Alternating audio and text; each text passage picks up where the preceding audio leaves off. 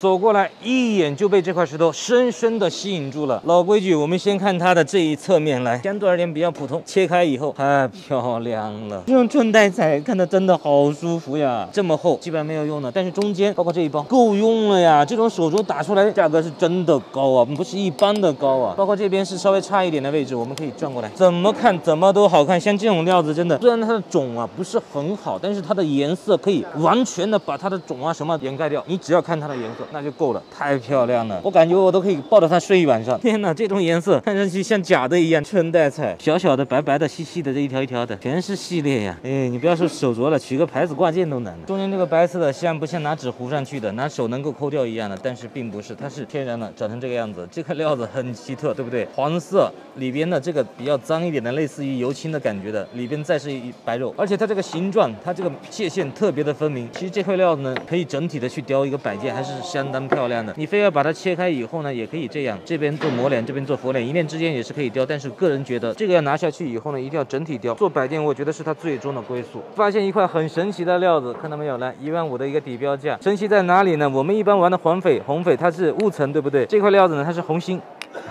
使我想起了红心柚子，那么这底子还是脏了一点，就是觉得很奇怪，很好玩。料子中间是红的，旁边它是脏的，所以说呢，玩翡翠真的切石头，你能够看到很多很多奇形怪状的，切开以后让你又开心又好笑的，哎，各种各种都有，人生百态。我跟你说，切石头全给你切出来。